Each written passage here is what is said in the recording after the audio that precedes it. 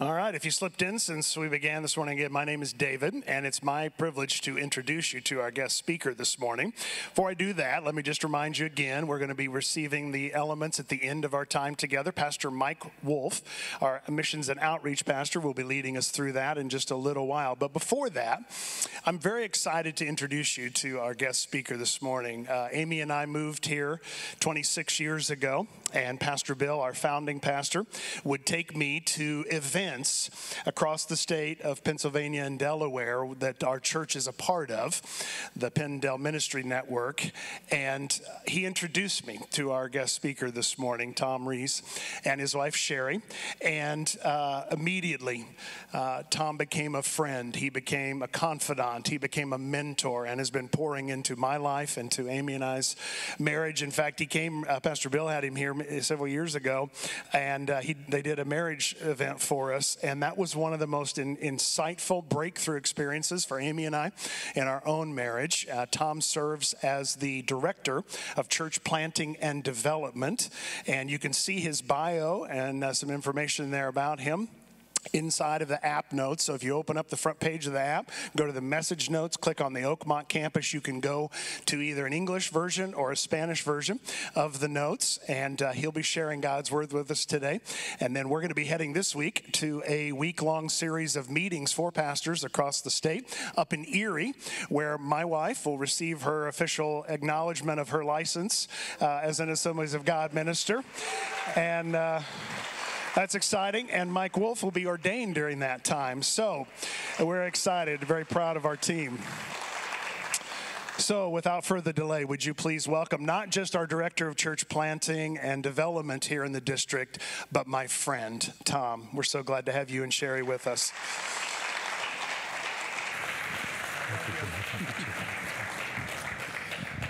Good morning. Boy, it is great to be with you. Um, I love this church. I love this church. Uh, I love your pastor, Pastor David and Amy. Uh, pastor Bill and Teresa. Pastor Bill, you in here?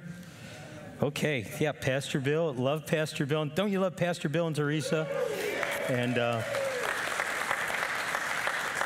and you have an amazing staff and ministry leaders here, and what a great team. Let's give it up to the team. Awesome, it's awesome. Um, Pastor David, I love your heart for God. I love your gifts. Just what a great leader. And, uh, and just with that, thank you so much for um, for your ministry here, and thank you for the invitation to speak today. I'm, I'm really honored and humbled that you'd share your pulpit with me. Thank you so much. We love you and Amy. Let's give it up for Pastor David and Amy. Wow, God has given you just tremendous leaders. You know, if we lived closer, this would be our home church. Uh, it's a little hard to commute from Mechanicsburg, Pennsylvania, but uh, it's, it's great. You know, a, a great intro, Pastor David. Um, what he didn't mention is that I moonlight a little bit on the side. It's true.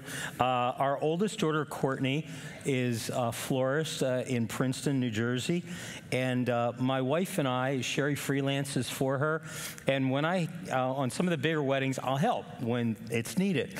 And uh, this summer, it's got its perks. This summer, we're going to head to Lake Como, Italy and uh, we're going to help her with a wedding in Lake Como and then take a week afterwards in Florence. So that's got a pretty good perk, isn't it? really good perk. Um, however, it also has its challenges. Last summer, we were helping with a wedding in Manhattan, and um, it was a large wedding, I think the largest she had ever done.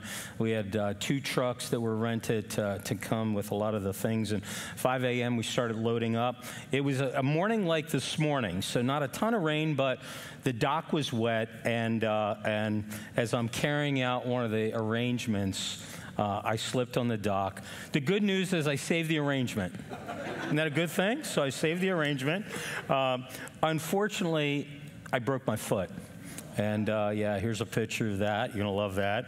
It's called a Jones fracture. Uh, anybody ever had a Jones fracture? Uh, it's like the slowest healing break in the foot.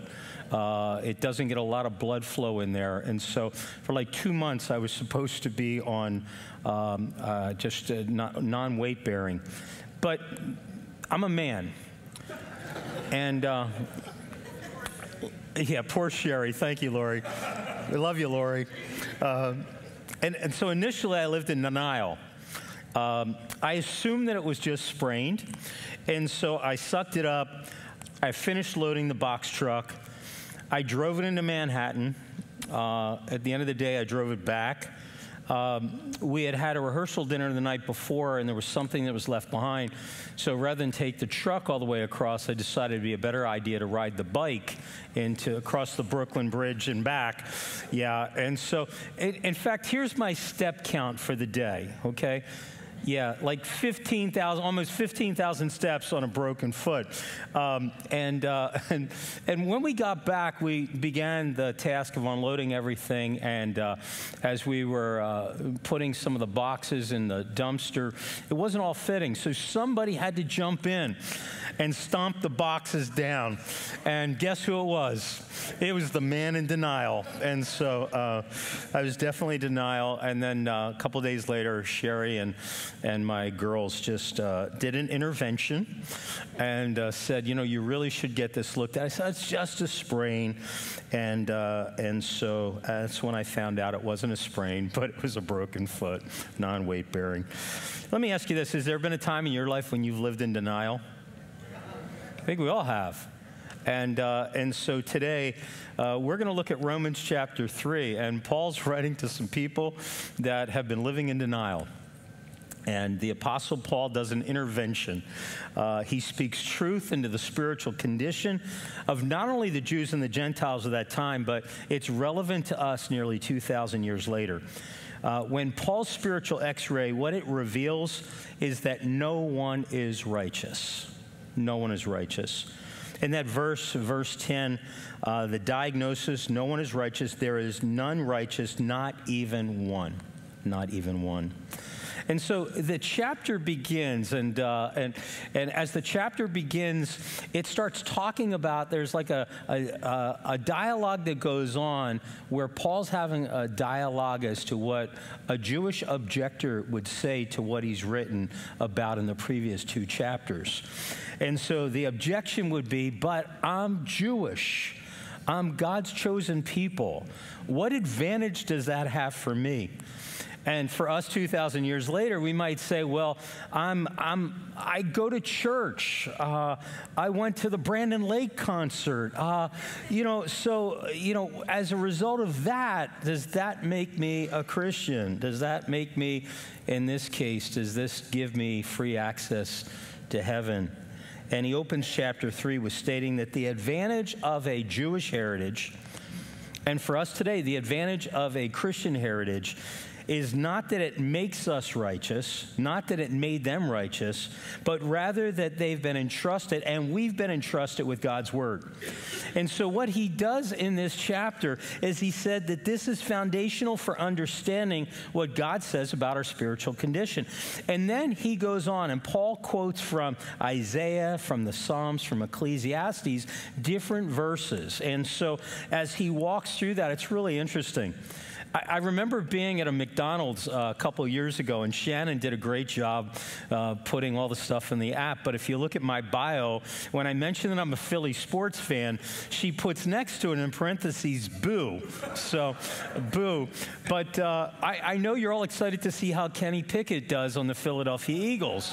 Um, and somebody told me well, he's your headache now. But, uh, but with that, uh, I'm having a conversation with a guy. We, it was during the Philadelphia Eagles Super Bowl, the last Super Bowl run, and uh, and he was wearing his gear, and, and I went up and just struck up a conversation, and uh, and we started talking about faith, and I asked him, you know, just in terms of a little bit about you know his background and and and his faith, and and it was really interesting. He said, Jesus, I like, Paul, I don't like. And I was like, wow, that's really interesting. Why?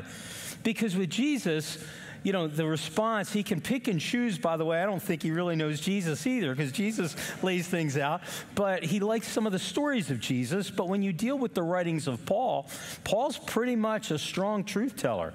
He tells it like it is here, and he helps us to recognize our spiritual condition without Christ. There is none righteous, no, not one.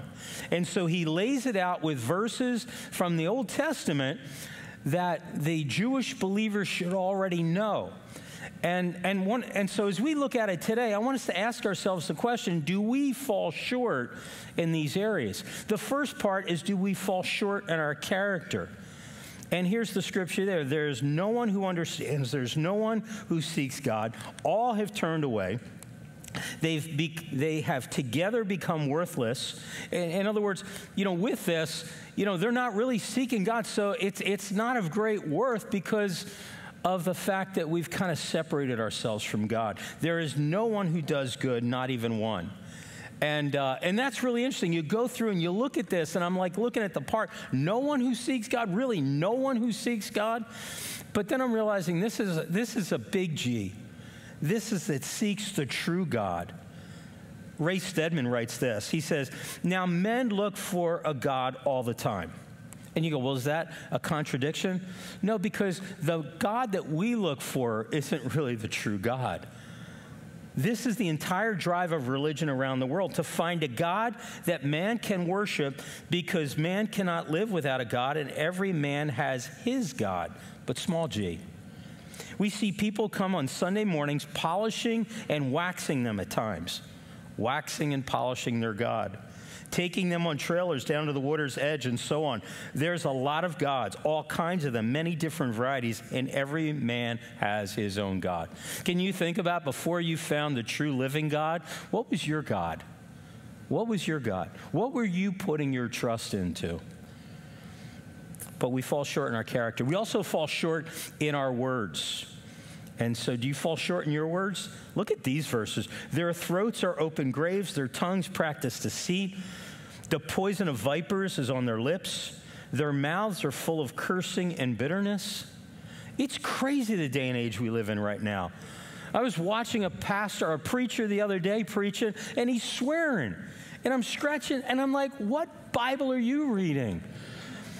And so when I think about that, I mean, just it's, it's, it's some of the values of the world have trickled into even our communication as believers. God, uh, help us, change us. I remember when I first got saved. I, I remember I was driving on the way to, you know, just on the way to church. Somebody pulled in front of me, and I swore at him. And I was just like, oh. and then I got this big fear, and I'm thinking, oh no, they're going to follow me into church. oh, I, I just remember, man, going to the altar and saying, oh, God, change my mouth. And, uh, do you fall short in your actions? Look at these verses. And, and going on, he says, Their feet, these are Old Testament scriptures. Their feet are swift to shed blood. Ruin and misery marks their ways, and the way of peace they do not know. There is no fear of God before their eyes. And, and I think about this. This talks about, I mean, we fail God from, from head to toe, from our eyes to our feet. We fail God. And, and I thought when I looked at it, I'm like, wait a minute, I don't shed blood. I'm not a murderer. But Jesus talked about that. And he said, Boy, you know, if, if you've got something against somebody and, and, and in, terms, in terms of how you respond to them, it's just, uh, I think we live in this day and age where we think that uh, this is what Jesus says. He says, You've heard that it was said to the people long ago, You do not murder, and anyone who murders will be subject to judgment. But I tell you that anyone who is angry with a brother or sister will be subject to judgment. He goes on to say this a little later and anyone who says you fool will be in danger of the fire of hell. And I'm thinking, wow, I'm thinking because I haven't killed anybody, I'm in good shape. But he talks about the attitude of the heart and also what we communicate in that. Uh, do we fall short of God's law? And you go, boy, this is a real pick me up message, Pastor David. I'm so glad you picked the book of Romans. Uh, and I'm so glad I agreed to stay with the series. But. Uh, but, but let me just tell you, you've got to get the diagnosis to be able to get the cure. You know what I'm saying? You've got to understand your condition. My foot couldn't get better until I realized my problem and realized I had to do better with following the treatment plan. And so, with this, you fall short of God's law. In verse 15, now we know that whatever the law says, it says to those who are under the law, so that every mouth may be silenced and the whole world held accountable to God. The law is not the way of salvation. The law helps us to see we need salvation. It makes us accountable to God. Therefore, no one will be declared righteous in God's sight by the works of the law. Rather, through the law, we become conscious of our sin. And you say, What's the law? I mean, you read through the Old Testament, and there's a lot of law there. And a lot of people love skipping all that because they just want to get to the good parts, uh, you know, when Jesus comes. But, but the law is so important to us. The Ten Commandments, let me ask you this which Ten Commandments have you broken? Okay, and what we're going to do is I'm going to read a commandment. If that's you, would you raise your hands real high? Pastor Bill says, please don't do that. Uh, so, uh, you know, with that, but mentally take note. You shall have no other gods before me. Have you had other gods before him? Uh, I had a neighbor that, man, their God was their lawn. And let me just tell you, I helped break that in their spirit. When my dandelions would pop up, I knew. Anyway, but uh, um, you shall make no, uh, you shall not make idols.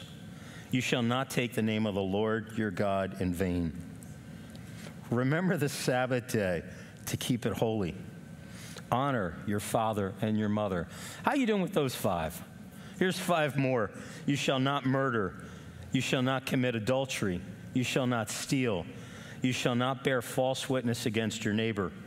And did I just do that by talk? Anyway, uh, and you shall not covet. And you shall not covet. The law. It helps us to see what our condition is. But with this, it moves on in verse 20.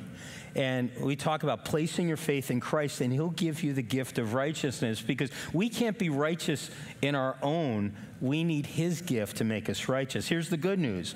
But now, this righteousness is given through faith in Jesus Christ to all who believe. There is no difference between Jew and Gentile, for all have sinned and fall short of the glory of God, and all are justified freely by his grace through the redemption that came by Christ Jesus. Aren't you glad for that? Thank you for your grace. Thank you, Lord, for your gift. Lord, I love you. Thank you for your gift and for redeeming us. But here's my story.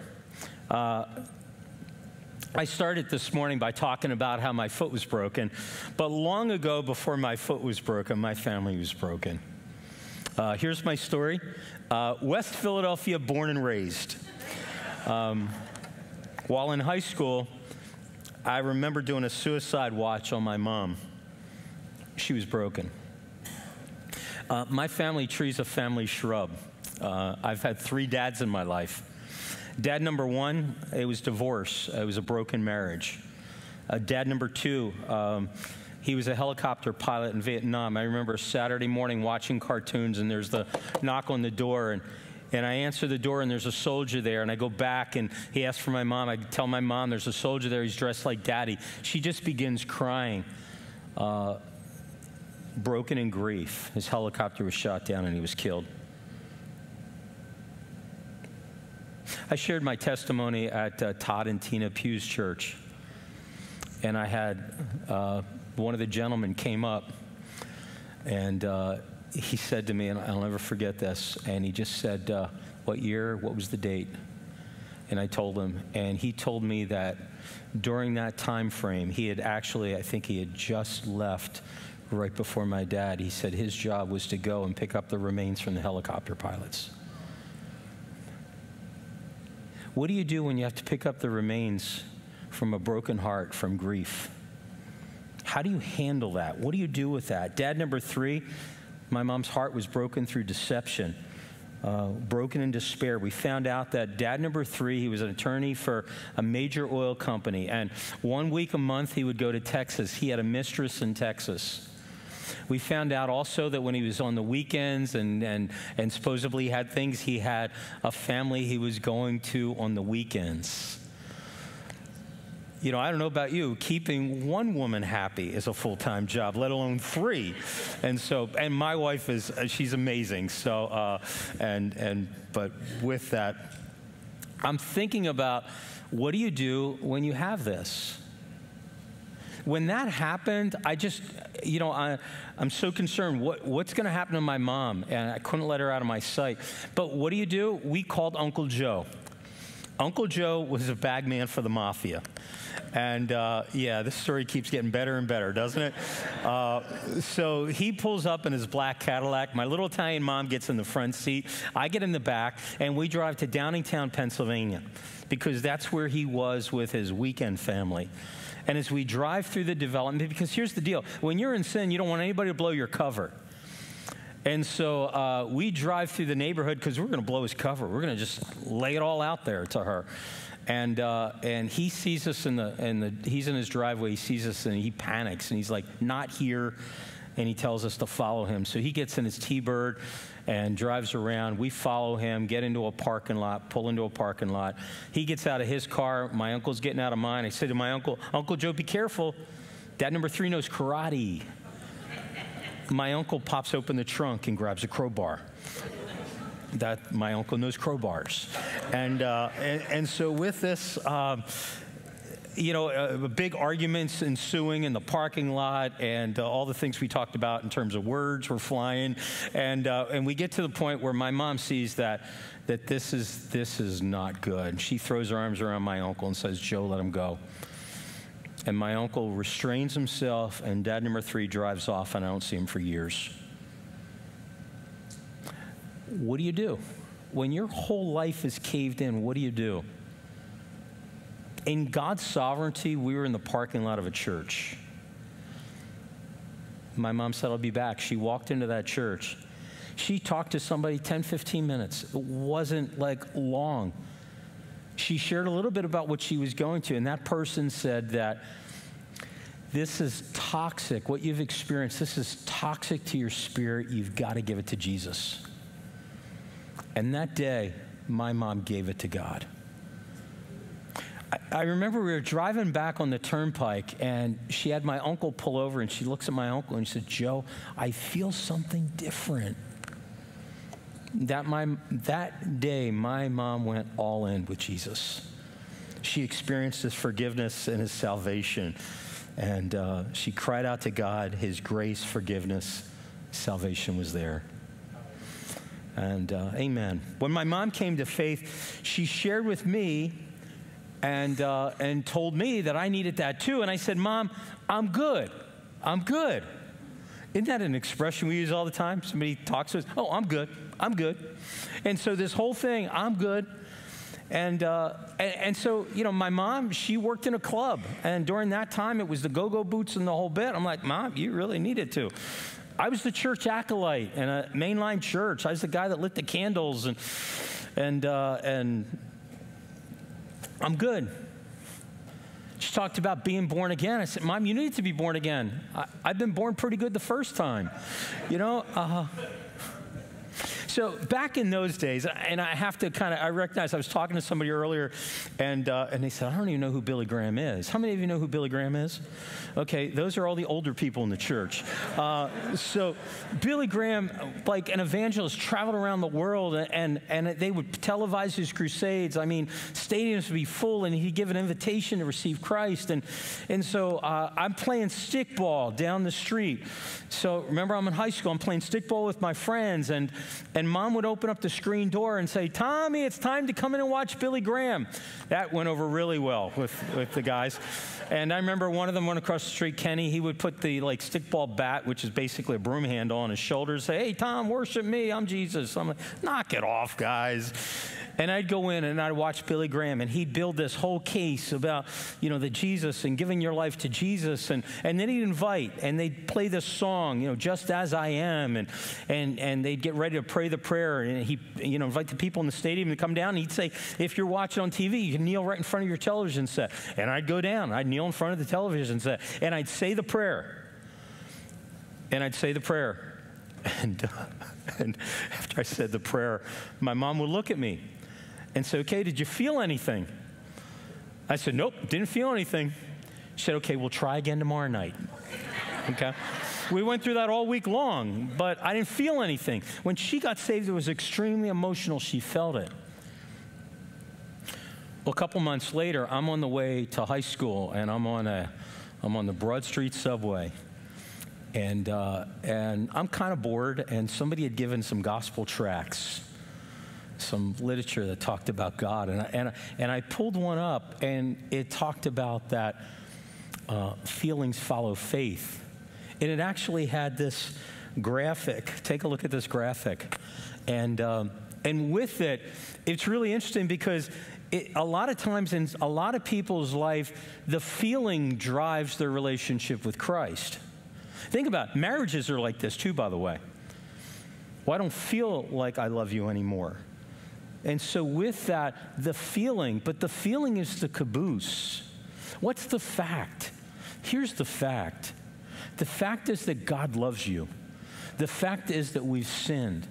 The fact is that Jesus rose from the dead. He died for our sins and he rose from the dead. That's fact. And with that, we can come to a place where we believe it, and in faith, we believe it. And so, with this, I love this verse in verse 25. God presented Christ as a sacrifice of atonement through the shedding of his blood to be received by faith. By faith, we receive what God has done for us. I talked about two tracks. The, the other track, the other piece of literature that I had was Do Good Works Save? Remember, I'm good, I'm good. See, we live in a world where we compare ourselves to other people. You know what I'm saying? And so, with that, um, if I asked you and I said, okay, so who do you think, and I ask people in the world, let's say I'm asking people out there, and I'm saying, you think of all the people that have done good, all the people that have done good in the world, who do you think has done the most good? And you know, one of the number one answers to that, one of the number one answers to that, climbing the ladder to God, climbing the ladder, and you say, Tom, don't break your foot, okay? climbing the ladder to God is Mother Teresa. People say, oh, Mother Teresa, I mean, she, she served people in Calcutta. She did a lot of good works. She did. And but at the same time, Mother Teresa will tell you that those, don't go, those good works don't get her to heaven. It only goes so, it doesn't, it doesn't get us there. We fall short. Mother Teresa fell short. You ask evangelicals, and they'll go, well, Billy Graham. Billy Graham. Man, he, he won all kinds of people to the Lord. And some of you go, well, I don't like the fact that you put Billy Graham ahead of Mother Teresa. Okay. You know, I mean, just with that, I'm just telling you how people think. You know what I'm saying? So we can switch it out and go the other route. But for now, we'll just for the illustration, we got that there. Are you okay? The Velcro's not coming off right. So, are we good? We good? Okay. Um, so you look at that and go, well, Tom, you know, who else do you have? Well, okay. How about the founding pastor of this church? Bill Ellis, okay? Some of you aren't happy that I put Bill Ellis behind Billy Graham and Mother Teresa. It's okay. Deal with it. Deal with it. Okay? And you say, well, who else you got on this list? Who else you got on this list? Okay? David Kennard. okay? So, David Kennard. So, I've got David Kennard on here. Some of you aren't happy that I put David behind Bill. Bill's the founding pastor. Are you okay with that? You all right with that? That's good. Okay. So, hey, where do I put myself? I'm all the way down here. Okay. Maybe not even on the ladder. But here's the bottom line where do you put yourself? Where do you put yourself?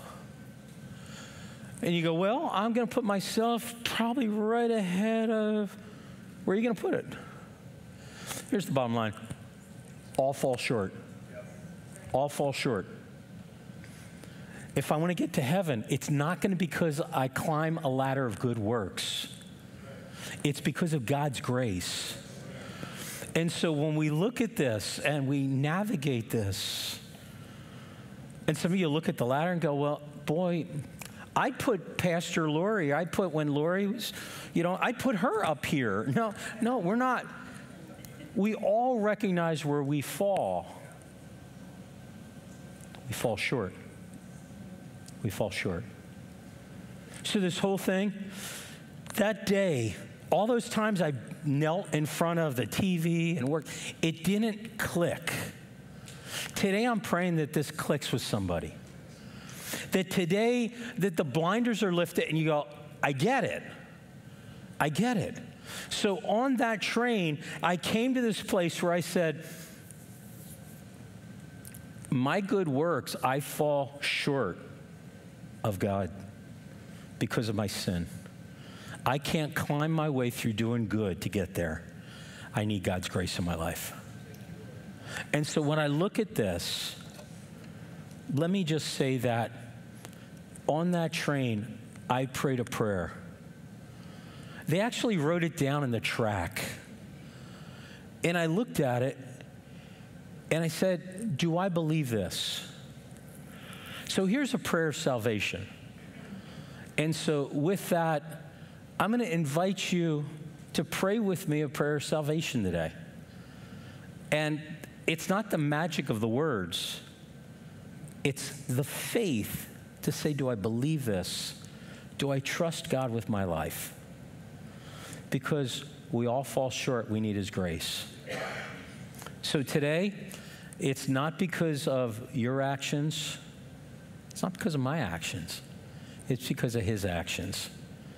And we're placing our life in His hands. Would you bow your heads?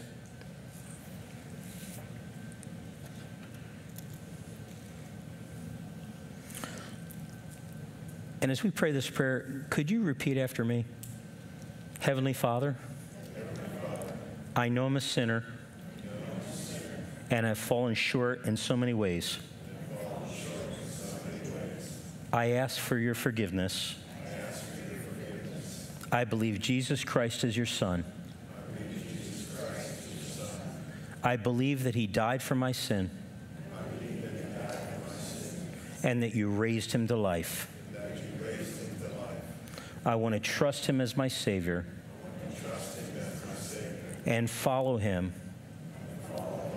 as Lord from this day forward. Guide my life and help me to walk in your righteousness. I pray this in the name of Jesus. Amen. And amen.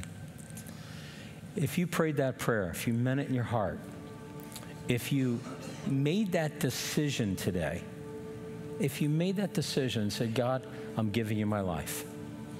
For some of us, we've made that decision long ago, but day by day, we renew that commitment with Christ.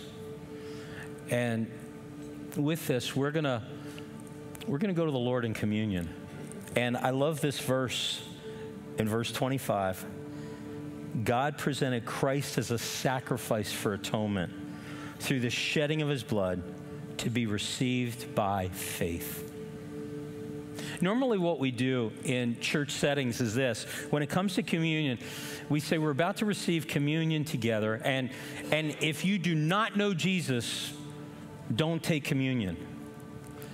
And, and I understand that, but I'm telling you, Jesus is inviting you to his table. He's inviting you to this table. And so, with that faith in Christ, we come to that table and we say, God, we place our lives before you. We fall short, but we receive your grace. And today, with that, in faith, we come together as the body of Christ and receive this. Let's prepare our hearts for communion.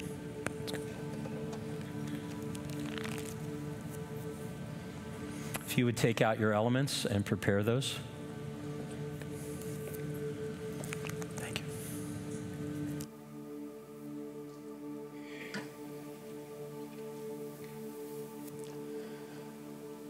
To rush through this.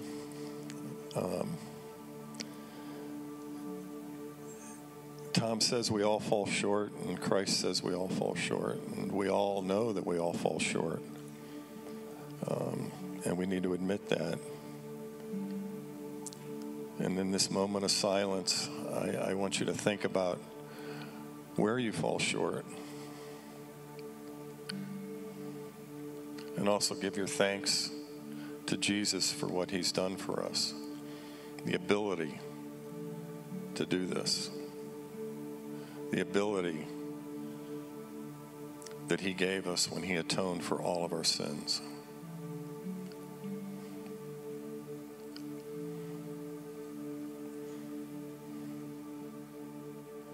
Should prepare your elements. We will do the bread first. Bread that represents his broken body, the broken body that he did for us. And in Luke 22 19, 20, it says, He took the bread, and when he had given thanks, he broke it and gave it to them, saying, This is my body, which is given for you. At this time, let us take the bread.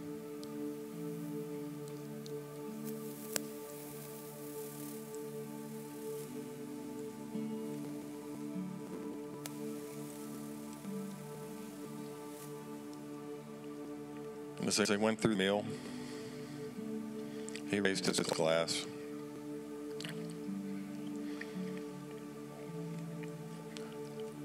And the glass of wine represents his blood.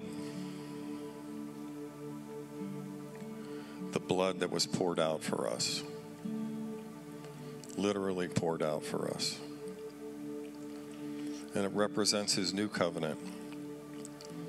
Jesus' new covenant with the world. So as we take the, the juice, do this in remembrance of me. And likewise the cup after they had eaten, saying, This cup that is poured out for you is a new covenant in my blood. Let us take the juice.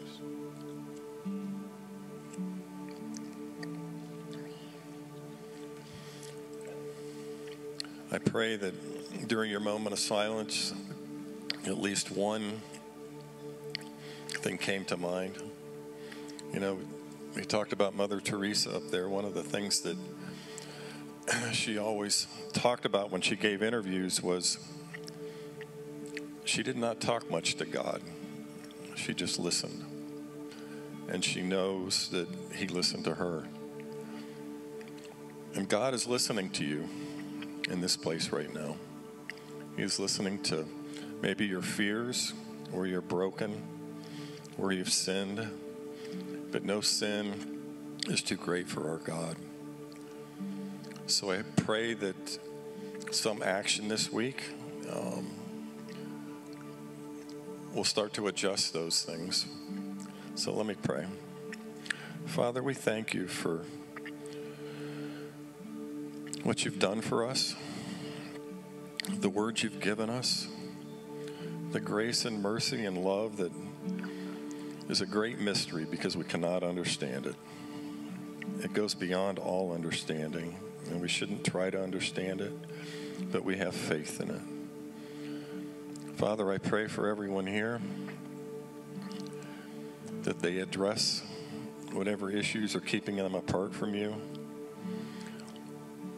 They address whatever fears they have, whatever shortcomings they fear. Father, for we know that you have greater things for us planned than we could ever possibly imagine. And we thank you for that. Father, we thank you for your great love and mercy. In Jesus' name, amen. At this point, uh, please stand for finishing worship.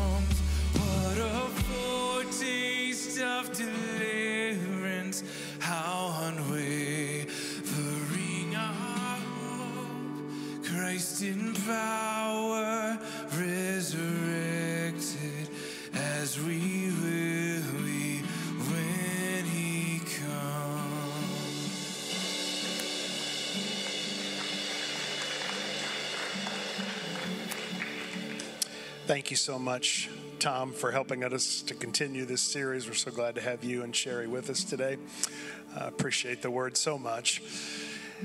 For those of you that are wondering, what do I do with what I've just experienced, what I've just heard? Perhaps if you've prayed that prayer for the very first time or first time in a long time, we want to help you. That's why I remember what I said at the beginning. We're here to help you to find and follow Jesus. And there are resources down here around the front. We'd love to put a Bible into your hands. If you don't have one, uh, let me just mention as well, we're beginning our next Bible reading plan in the YouVersion Bible app. All the links are there. We're continuing with part two of this series of Romans, so you can join us and read on digitally with everyone else. But if you don't have a paper Bible, we'd love to put one in your hands. There's a resource entitled He Did This Just for You, and it describes the lengths that Jesus went through so that we don't have to climb the ladder any longer. In fact, let me just mention real quickly, I couldn't help but think, I wonder how many of you, if, if I was here for the first time or I was coming in and I saw a ladder up on a stage like this on a Sunday morning, I'd be thinking, do they not know it's there? How tacky is this? How do they not realize this? Well, look for God to show up in ways where it looks like there's something out of place and let that remind you I don't have to climb the ladder any longer. So he did this just for you begins to help you to grasp a hold of that. The other one is entitled First Steps Learning to Follow Jesus. And there's information in there about how we can help you one on one, spiritually coaching you discipleship, guys with guys, ladies with ladies. And there's information in there, and we'd love for you to take any of those with you. And I'll be down here around the front. Love to have a conversation with you afterwards to help you to take some next steps. We would really appreciate it, and that'd be an honor for us to get to do that. As you're leaving, you'll see that there are buckets on your ways out. You can drop your what you came to give today, your tithes to return, and your offerings to give. You can give through text to give, digitally, online, any of those ways. Thank you for your faithfulness. When you're giving today, we tell you this often you're investing in things like kids ministry, student ministry, young adult ministry, missions, and outreach. Recently, we had a worship night, and it was such a fantastic night. This place was full, and it was a wonderful evening just being able to worship God and celebrate what God is doing in our midst as a church. And so when you're giving, just keep in mind today, those are all the things that you're investing in. It's so much bigger than what we could even see. Such an honor to be able to return those things to the Lord. And one last thing, because Mama always said, clean up after yourself, take your communion elements and all of those things with you as you leave today so we can be ready for the next service. Father, thank you so much for all that you have in store for us. Thank you for what you've spoken over us today and in our hearts and lives. And Lord, I do pray for all of us that that awareness that we've fallen short would not result in condemnation but that would result in a spirit and a heart of overflowing gratitude for what you've done, Jesus, in the cross and in the resurrection. Thank you for the freedom of being able to live in a relationship with you. And Lord, I pray for those that are asking questions, those that perhaps very for the first time prayed that prayer today, God, that they would begin to sense that there's a change that's happening from the inside out, that there would be an opportunity for them to step into the new, a new life in you, Jesus. Thank you for everyone that uh, gives today and for the, what's given, Lord. We pray that you would bless it and multiply it and use it to continue to help students, kids, young adults and adults here in this area and around the world find and follow you. It's in the name of the Father and of the Son and the Holy Spirit we pray together. And everybody said, Amen. God bless you. Have a great week. Thanks for being here. We'll see you next week. Pastor Jay will be back next week to preach our next message in the series.